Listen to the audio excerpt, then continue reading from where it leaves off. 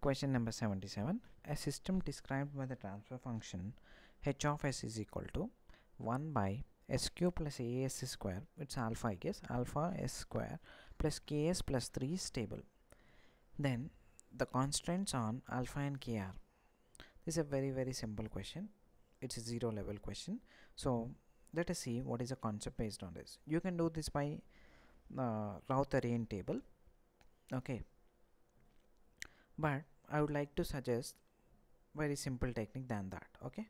So for any third order characteristic equation see any third order characteristic equation is of the form a s cube plus b s square plus cs plus d equal to 0 this third order characteristic equation is stable only when all the coefficients must be positive.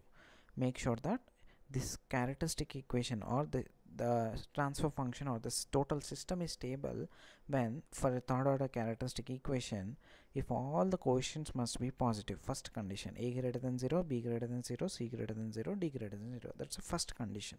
And the second condition is the inner product. Inner product of the quotient must be greater than the outer product of the quotients. Just like product of means must be greater than product of extremes. The means are nothing but means coefficients okay? B and c must be greater than a and d. If these two conditions are satisfied then any third order uh, transfer function or th third order characteristic equation stability can be decided based on these two conditions. See in the given question the transfer function is this. So the characteristic equation will be simply the denominator because he has not talked whether it is a closed loop transfer function or open loop transfer function. So simply take it as closed loop transfer function because he has not mentioned anything fine. Now this closed loop transfer function this is a character closed loop transfer function if you have assumed then this becomes the characteristic equation.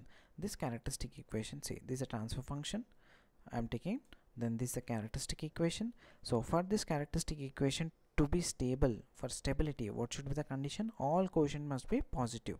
See 1 is there it is positive already alpha is there it must be greater than 0 I have written that k is there k must be greater than 0 and 3 is there 3 is already greater than 0 then inner product inner product is nothing but alpha into k. Outer product is nothing but 1 into 3 quotient just to multiply quotient. So inner product alpha k must be greater than 3 so let us see the options. Alpha must be greater than 3 and alpha k is less than 3 it is incorrect because alpha k must be greater than 3 it's incorrect. Alpha is greater than alpha k this is right choice it is not 0 it's 3 okay? So hence you can eliminate this two.